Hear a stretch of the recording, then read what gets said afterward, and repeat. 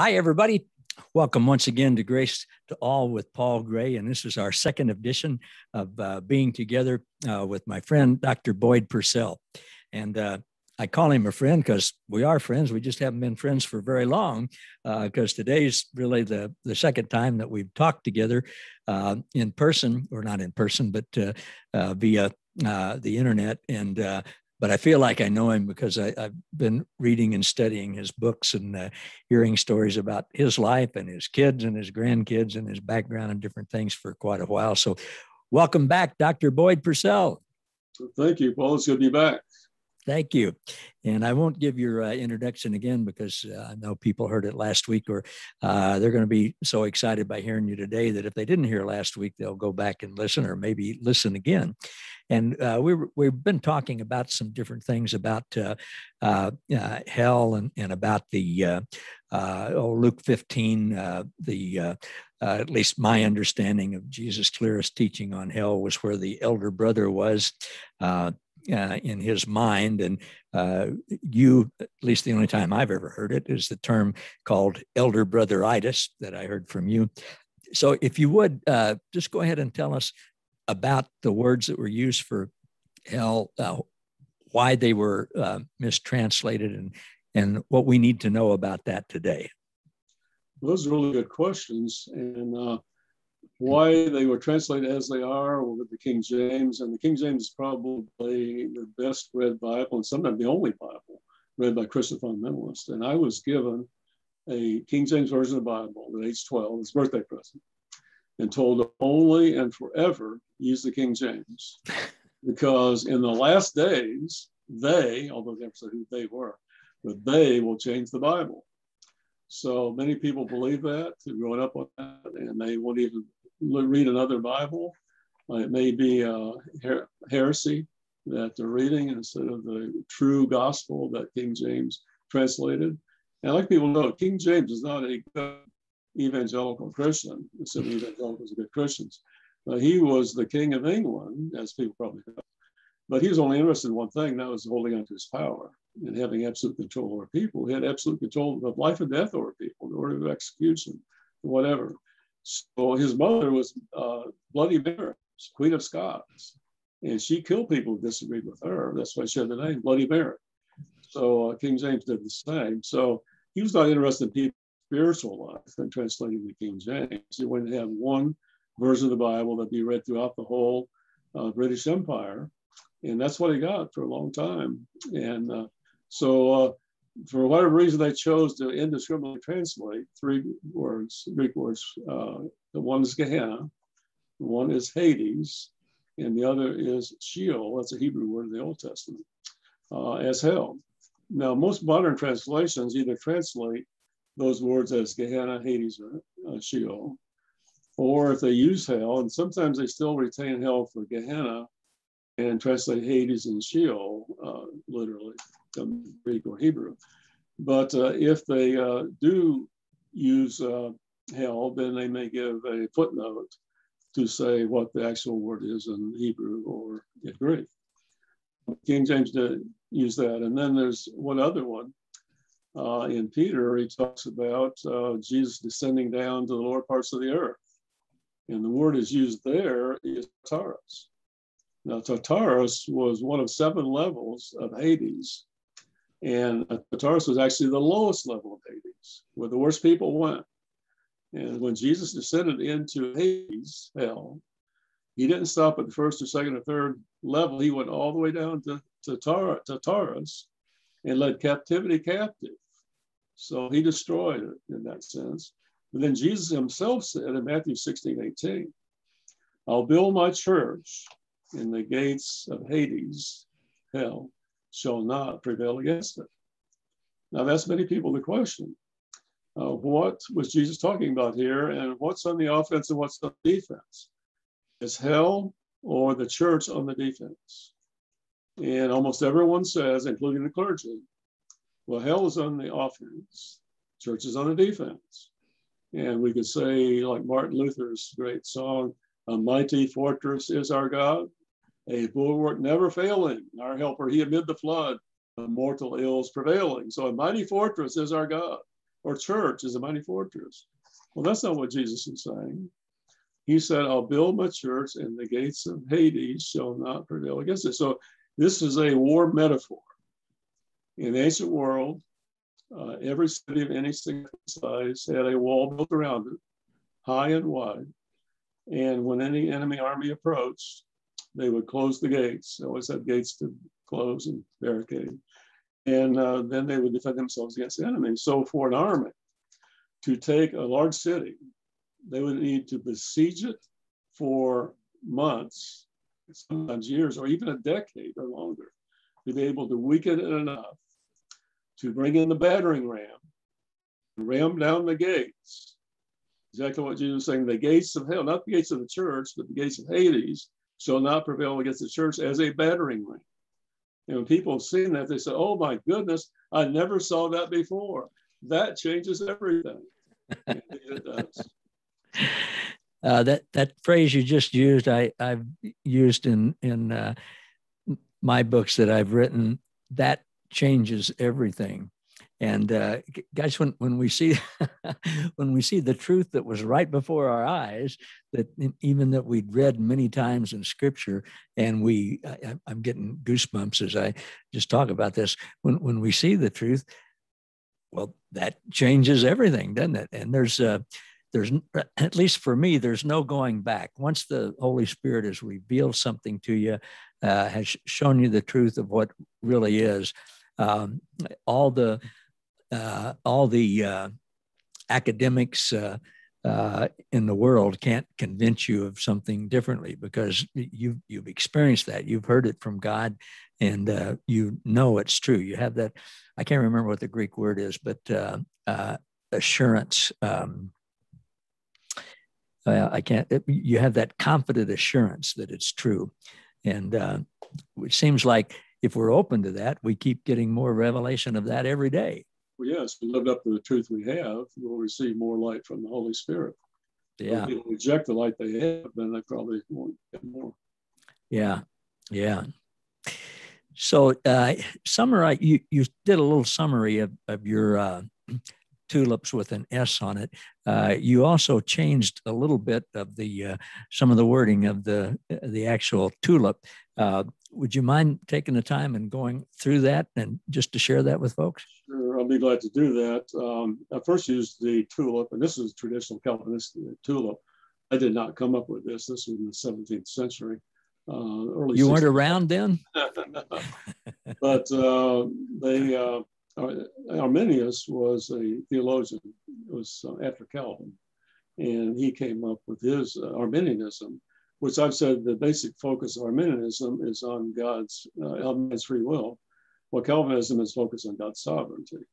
Now, briefly with the tulip, uh, T-U-L-I-P, the T stands for total depravity. Now, that's pretty negative to begin with, that man is so totally depraved that we cannot even reason properly. We can't even ask God for forgiveness of our sins unless God grants us the ability to ask for forgiveness. I took Dr. D. James Kennedy's uh, Evangelism Explosion course, and of course, he's a five point Calvinist.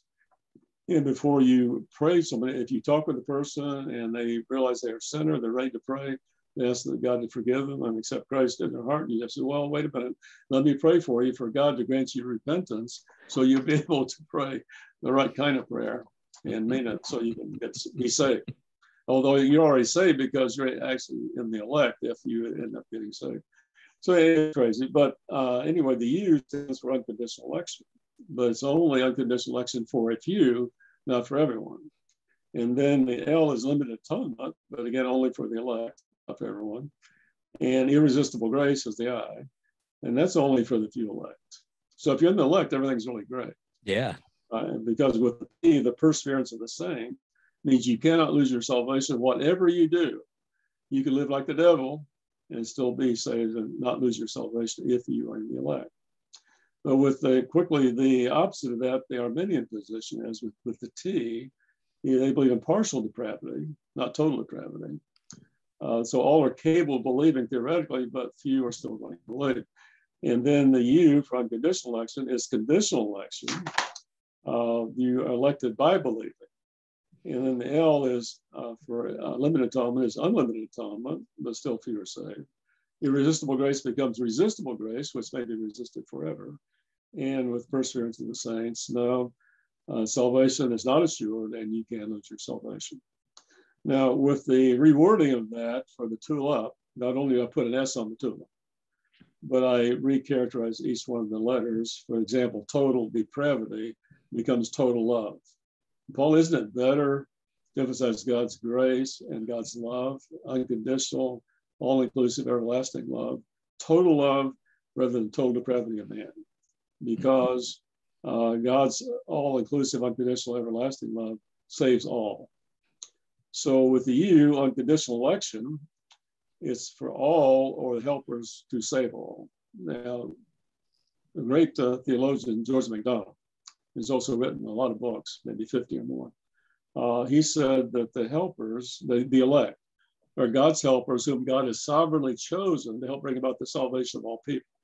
So I don't know whether everyone's elect or if there's some people elect, but if so, it's only to bring about the salvation of all people. So it's a very positive thing either way. And then L is for the Lamb of God, not limited atonement. The Lamb of God who does what? He takes away the sin of the world. And notice it's not the sins of the world, but singular, the sin, the collective sin of the world that the Lamb of God, the Lord Jesus Christ, takes away. Isn't that a beautiful thing? When John looked and saw Jesus coming to him and he said, Behold yeah. the Lamb of God who yeah. takes away the sin of the world. And then well, let me just stop you for a minute. If if Jesus took away the sin of the world, then what would we be punished for? Well, we, we won't be. and in fact, something even deeper here is everyone is already saved. Yes. Well, you have to get out there and try to get people saved before it's eternally too late, and God yeah. who's love damns them to hell forever. Yeah. On the cross, when Jesus said, "It is finished," when the plan of salvation was complete for all time, past, present, and future. So, uh, as some great theologian has said, the great German Swiss theologian uh, Karl Barth said that salvation, Christianity today, evangelism, is not getting people saved, but announcing the good news to them that they have been saved. Yeah. They can enjoy their salvation and share that good news with others. Exactly. Yeah. Sorry for interrupting you there. Oh, no I couldn't contain myself. well, uh, it's a lot to be excited about. The I in the tulip redefined is infinite grace, mercy, patience. That was slashed between each of those. Infinite grace, mercy, patience of God is why God will not and cannot ever fail. Because I've said this isn't rocket science as far as getting people saved. God only has to do two things in order to win the cosmic war between good and evil and save every person without violating anyone's free will. Those two things are number one, is love unconditionally. And number two is be patient. God is eternal. Mm. God is in a big hurry to go someplace. God isn't going anywhere. His patience endures forever. Well, we're told that, in fact, in uh, 1 Corinthians, the 13th chapter, the love chapter, yeah. we're told some things about God's love, and God is love. So it says that agape is God's divine love, that it is patient. The very first thing Paul said. Yeah. Agape is patient. So yeah. that's, that's what we need to know about God. Sure. Give up on anyone. No, also, it also says he keeps no record of wrongs. Absolutely. And he does not insist on his own way. And God believes all things, he endures all things, he hopes all yeah. things. And yeah. love never fails. And if love doesn't go, God doesn't fail. And right. therefore, God will not fail to destroy evil and reconcile the cosmos to God's loving self. Seems so simple, doesn't it? It is. And so it's been so messed up and so confused. And really, why well, we have a lot of atheist agnostics because people say that doesn't make sense. And I, one person read my book, Spiritual Terrorism, who uh, works for Native Life Care in West Virginia. And he is an atheist by profession. And he read the book and he wrote a five star review for it, posted on Amazon and said, even atheists will like this book. so uh, when atheists tell me they don't believe in God, I say, well, that's okay. God believes in you. Yeah. And then you, you like me, call God Papa uh, for the uh, in the last letter of P, which right. I think Jesus came to reveal that God is a good Papa. Right. So Jesus, who spoke Aramaic, called God Abba, which means Papa, very loving, affectionate term. And so rather than person the saints with this tulip, I have Papa God. Our loving Heavenly Father will surely become all in all. What does that mean? First Corinthians uh, 15, we're told that first of all, this 22nd verse, that as all died in Adam, all will live in Christ. That's a perfect parallel. And then Jesus delivered the kingdom up to God when he has drawn all to himself, according to John 12 32, and that God may be all in all. And I like the translation yeah. of that in the Revised Standard Version. It says that God may be everything to everyone. Yeah. Concept. Yeah. I, will never forget, uh, boy, the first time I explained that to uh, someone very near and dear to me who's is a five point Calvinist, and they said, well, yes, but we know all doesn't mean all. And I've, I've and I, of course, I've heard that since then, and I'm just going, oh man. right. Well, all means all according to in uh, Romans 3.23. All of sin and fallen short of the glory of God. Yeah. But when it says that all of sin, that, that's 100%. But when, and I say, well, what about all? Is that 100%? Oh, yes, that's 100%. But all live in Christ? No, nah, that's maybe only 10% or less. Yeah. No, and of course Romans 3:24, which is never quoted, is all have been made righteous. right. Or so, Romans Romans 5:18. Yeah. one man's rights uh, condemnation, uh, unrighteous condemnation come upon all men. And by yeah. one man's righteousness, the Lord Jesus Christ, there is salvation for all people. Yeah. Oh, it seems it just seems so uh, so clear and it is clear. But uh, it, really that's a true gospel. So one last thing that the S on the tulip, as I mentioned, is symbolic fire, salt and sulfur. Put a slice between each of those. Those are mixed metaphors that uh, symbolize disinfection, healing, and purifying from sin. So how much clearer could that be? Yeah. And the whole uh, understanding of sulfur, uh, uh, which you write about so well, was was used for purifying and uh, for cleansing in a number of different ways, uh, medicinally, um, uh, in Jesus' day and age, and it still is. It's it's it's not what we were taught it it was. Well, again, we go back to King James, which says fire and brimstone, like Revelation 20, Revelation. And so I've asked people again, you know, pastors, uh, clergy, other clergy, and lay people. Uh, you've heard the Lake brimstone, and I've shared this many times with hospice patients who are elderly people that tried being Christian their whole life. They still think they're going to hell. Then we get burned out like a fire and brimstone forever. And I said, well, you know what the word brimstone means?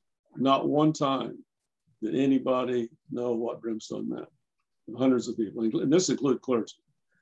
And I said, well, uh, according to Webster's dictionary, and I had to look this up about the time 45 when I finally figured this out. And I looked in my uh, Webster's dictionary and it said that brimstone is an archaic or outdated word for sulfur. And I thought, wow. Then I thought about, well, what would that symbolize? And then I went to my Bible dictionary and found out what sulfur is known for in the ancient world. And it was known for its uh, disinfection properties, its fumigation properties. If someone had died in a home of infectious disease, they burned sulfur to disinfect the house. They lice, mice, and other vermin. They burned sulfur to disinfest the house. Uh, they used sulfur to sulfur the produce, to preserve it, to kill bacteria. And when I shared this with um, my mother, uh, she's 75 years old at the time, and she had said she didn't know what to believe, and I come to share it, Leaving Universal Salvation. But uh, she, uh, I told her about brimstone being sulfur because she'd not heard that. And she said, well, that makes sense to me. I said, well, really, Mom, why does that make sense to you? And she said, well, I, she been helping her dad, my grandfather, sulfur apples when she's a young girl. And I said, well, Mom, I never heard of sulfuring apples. Have you heard of sulfuring apples, Paul? No. Okay, no. learn something here. So she said uh, that you do that to preserve. So that, wouldn't that leave an awful aftertaste? I remember in uh, high school chemistry class how bad burning sulfur smelled. No wonder it's a fumigant because it smells really bad. Uh, so she said, no. Uh, she said, you do it, you sulfur the apples to kill the plant uh, disease, bacteria, and so on, to preserve them. You slice up the apples, and then you put them in a big pot, and you scallop out a place in the center, and you set in a sulfur pot. and you have to get out of the building. You set the sulfur pot ablaze, ignite it, and then get out of the outbuilding because you'll get fumigated if you don't. But uh, she said it doesn't leave a bad aftertaste. In fact, she said the apples are delicious and you can preserve them all winter that way. And she said that makes perfect sense as far as the spiritual application of a lake of burning sulfur. And, wow. I, and very interestingly, the word for sulfur is theon, the identical word for divine. So this is a divine like purification. Yeah, and I, I, I know I've read that you've written about that. Oh man, I, I, uh, you know, thinking about the King James and fire and, and brimstone. The, uh, I, I remember uh, arguing uh, with somebody one time. and uh, fortunately, the more I understand about grace, the less uh, argumentative I, I get. but but uh, you know, we were and and uh, I said, well, you know, haven't have you never studied the Greek? Do you not know what these words mean? And the person said, I don't care about the Greek. All I care about is the King James. And if it, if it says, and I, I'm going, well, how do how do I argue with that? And the Lord was sort of saying to me with a twinkle in his eye, I think, don't argue, Paul. I, you know, leave- 30 years ago, I received a call from an evangelical pastor who wanted me to contribute to a fund to translate the King James Version uh, from English into uh, Russian. And I said, why? I knew why he was talking about it because the King James is the only infallible translation of the Bible. They're talking about King James people who actually believe it's an infallible translation. And I said, you realize what a mess that would be? You always want to go from the target language into the language you translate from. That'd be the target language the one you're translating from, or, or to. And um, he said, uh, no, uh, the, the King James is an infallible translation, so it would make a good deal. And I said, well, the King James was translated first into Greek to Latin, and then Latin to uh, to uh, King James English, and then then you go from King James into Russian. I said that'd be a terrible mess of people, but obviously I didn't contribute to the project. I was a heretic because yeah. I, I, read something the other day that said uh, um, can you can you imagine the uh, the head of a country like the United States uh, hiring 70 um, Bible translators and paying them to translate the Bible the way you wanted it to be, and then calling it infallible? Right. Well, that's what King James did. it is, and the translator is very concerned about not uh, offending the king. Yeah. yeah. You can acquire them as translators or even head to Mexico. yeah. Oh, gosh. Well, our, our time is up again. Uh, Dr. Purcell, I, uh, hopefully you have time to do one more uh, short uh, interview and, and we'll sign off today and then we'll finish uh, uh, some things up uh, with some more questions that I have for you. And uh, this this has been again so good for me, and I know it is for our listeners. And so, uh, before uh, we finish again, to tell people where they can get your books and how they can connect with you. Well, the books "Spiritual Terrorism" and "Christianity Without Insanity" are on Amazon. You can read the reviews there to see what people say, and some people say that their life has been transformed by having read one or both books. And then you could get them uh, at other uh, online sellers or a local bookstore. Perhaps you could order them for you if uh, you choose to do so. And then you can also email me at uh, dr doctor dr.boydpurcell at gmail.com. And I'll be glad to send information, things we've talked about, acrostics and other things I've developed. Number of documents that I think are very instructive and very liberating and uh, good news that people would like to have and to share.